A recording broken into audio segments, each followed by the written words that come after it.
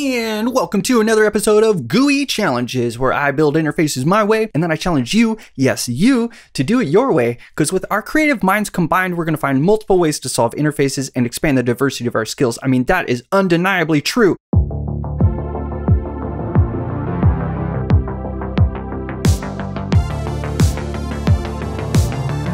Today, I've built breadcrumbs. I'm obviously excited by the variability and the ability to sort of like bring my own style to something. And here I've done it. I've made breadcrumbs. People are going to argue these are not breadcrumbs because they don't follow uh, the, the, kind of accessible spec of what these are supposed to do. But I really, uh, it's so close to how it should work regular breadcrumbs. So like regular breadcrumbs are just a list of links that should reflect the history of where you've been, right? So uh, theoretically, if I'm here on the on sale section of this website, I've gone from the homepage, I've clicked on the RPG section, and I want to look at RPG video games. And then I'm going to say, well, I want the indie RPG video games, and I make another click to find just the on sale ones, right? Well, now there's that whole history. And what's kind of nice is that history of how I got here is laid out for me. And what I've done that's different, and this is how I, I branched off from the other breadcrumbs. I think there's even a joke in there, like branching, because we're making branches. Anyway, Anyway, whatever. I have added this ability for you to see siblings. Usually breadcrumbs can take you just back to a landing page. So you would click RPG and go to the RPG landing page for all the video games that are RPG related. Um, but what I've done here is I've allowed a user to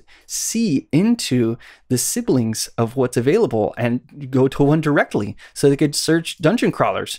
And now the user would be navigated to the dungeon crawler section uh, as if they had clicked this link and it had been there the whole time super cool i thought um, and it, you know of course since i used nice semantic elements it's easy to go through so this is just a link that's a link and here's a select. I can hit spacebar and hit up and down to find my different collections and choose one as I so please. Let's look at some of the layouts in here and some of the ways that this is a little unique. So if I turn on the flex layout here and the scroll snap, we can see that we have one scroll snap child. It wants to be snapped at the end and watch as I do this. Look at it little bit of scroll padding here to kind of make sure that we get some space here. I'll take this off so we can see it, take off flex, right? Look at how it stays in view. And that's nice. I felt like the current page is the one that you're going to want to know in context when page loads. So if there is overflow, we try to keep the current page in view with a little bit of scroll snap. So the scroll snap is on this nav element container, and then we find the last crumb. And the last crumb, look, it has scroll snap align end. So we use CSS's selector syntax here to find breadcrumbs, the crumb that is the last of type, and we give it a snap align, and now it says snap aligned. As long as the browser supports it, it will keep that element uh, in view and snapped. If it doesn't support it, well, it just won't snap it. You get the, you know, nice scrollable interface just as you would before. But let's look at like how the flex is working. We have just a flex container, a little bit of gap. We've got the overflow, you know, scroll snap sets here, the overflow behavior contain. And if I hover over the align items, we'll get a nice visual. Yeah, it's trying to vertically align everything. Same with the crumbs. We got a crumb, we turn on the flex, we hover align items. We can see that each crumb is centering the icon and its text just vertically there really neat. Um, one of the other interesting layouts we have in here is this crumbicon here. So if I pop in here, we've got this crumbicon, which is a grid the grid defines a row and a column that are both the same size of three characters and they're both named stack. So this is a you know layout technique you should have seen before. We're essentially creating one cell where it's named and then we're giving every child uh, assigning them to that stack area. So that creates this select on top of an icon. The select is semi-transparent at 0.01 opacity and it's being fit to the block size. So it's being fit inside of that crumbicon space. And that's why when I click in here, I'm actually invoking a select element because I've you know disguised it. Look, I even gave it a name, disguised select. I've disguised it over top of the interactive area right? And it's kind of cool. We saw the keyboard users don't even know it's disguised. They're just getting focused into an interactive element. Um, and the icon there, which we've hidden with ARIA hidden true, is just not relevant. So, so many cool little pieces come into this that I think made this a really nice breadcrumbs component from the Flexbox layouts to the use of, you know, color schemes. So if I go into a color scheme line, oh, let's just go to the debugging corner. We haven't been to the debugging corner yet. What is going on? Let's go over there.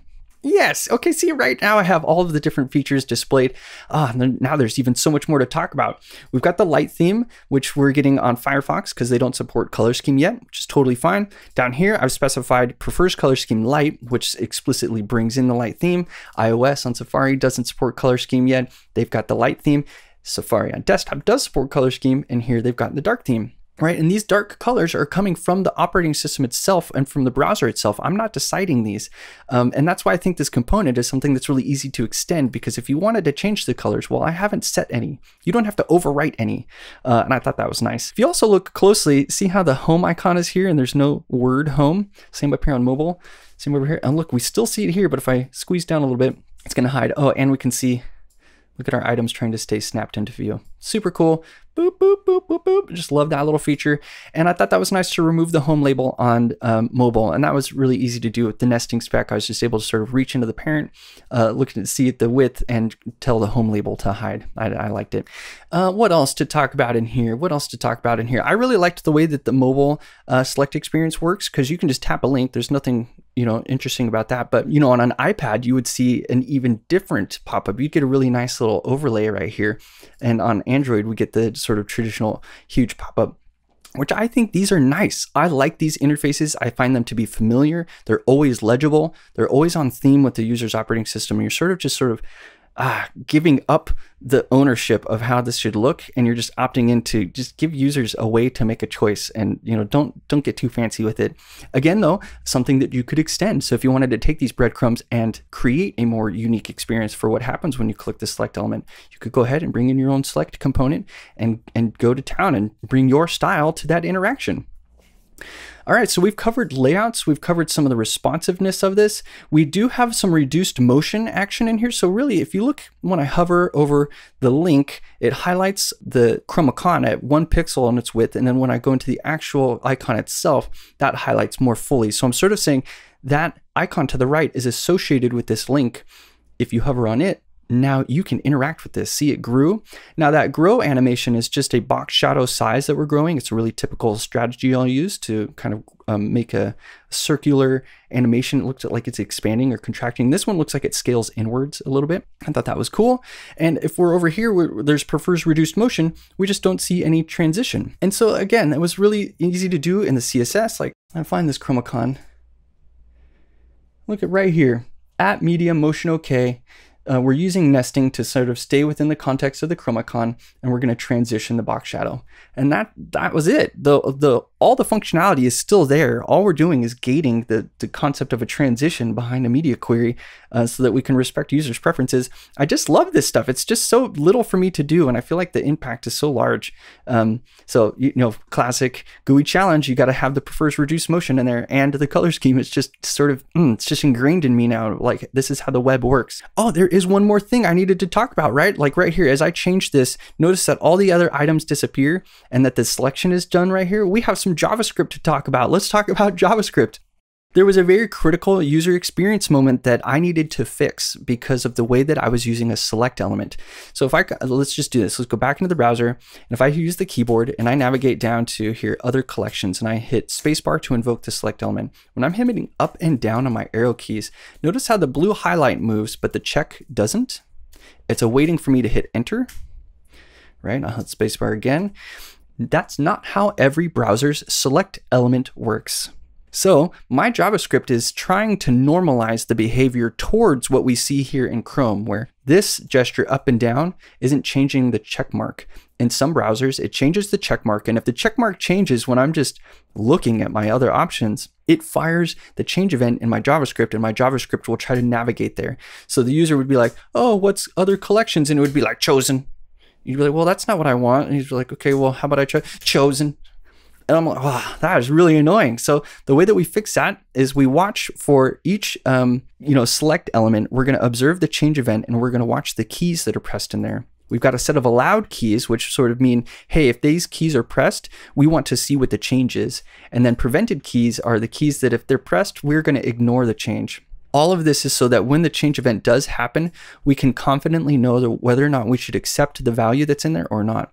And if we do accept the value, we go find the element, we go change the crumb content. So here's the text content of that link. So when we changed it, it actually updates the text content. And here's a cool trick I thought. So the crumb element that we're changing on, we're going to grab the class list and add tree changed. And let's go see what tree changed looks like in here. I'm going to go back to the larger Chrome Uh, let's get rid of our grid and flex overlays.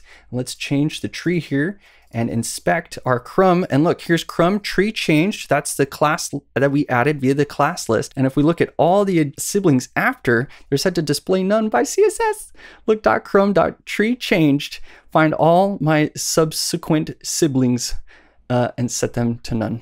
And I just thought that was so neat. It gives a really great user experience. CSS is doing a lot of the hard work. JavaScript is just adding a little bit of value in there. So it's normalizing the select and it's also giving us some nice visual feedback that, you know, the route is going to change soon. And yeah, um, there's lots of other little details in there. Like I think uh, the nav element here has role navigation because as I tested, I just didn't see that the implicit role of navigation wasn't coming through with the nav. I was I needed to be explicit about it. And then I really like this um, feature here where if we go to the current crumb, uh, the ARIA current page, and that we style that visually. I just thought that was really nice. So there's lots of little things to note in here. Again, the article is going to have all the great details. So thanks for watching this GUI challenge. I hope you enjoyed my breadcrumbs. I want to see what your breadcrumbs look like. Who's going to build some breadcrumbs that are per the spec and who's going to build one that's uh, not. I want to see all the different types. I think there's a lot to learn here and I'm enjoying building these like minimal components that are very system based and then seeing how people build upon this base. I think these are nice, extendable, system-oriented baseline components that lend themselves really well to getting extended and modified and customized. So let me know if it is or if it isn't, and I can start making these things in a little bit of a different way and make sure that they're nice and easy to fork and customize. Y'all take care. Thanks for watching this video, and I'll see you later.